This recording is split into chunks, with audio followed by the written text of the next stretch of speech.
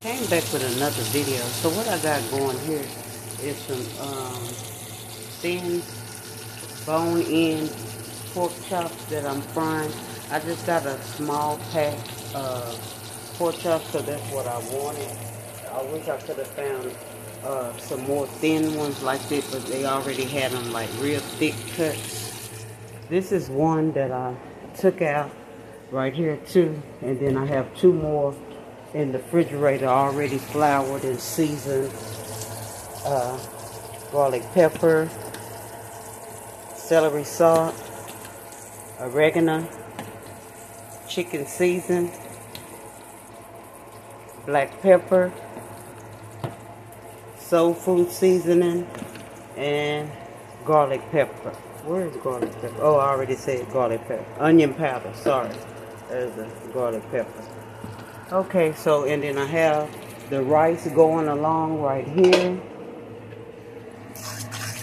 Let me cut this blower off. Sorry, I didn't realize it was still on, on the video.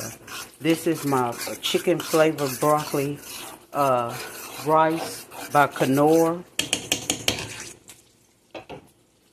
Right here, two packages uh, right here. And for the directions two and a half cups of boiling water and margarine or oil as your choice to use and bring to a boil and then let it just sit after it comes to a boil.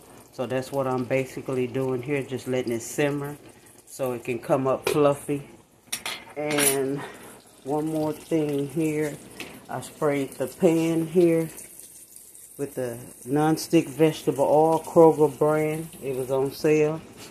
And uh, I have chicken drumsticks here in the oven baking. As always, the Lord is my shepherd.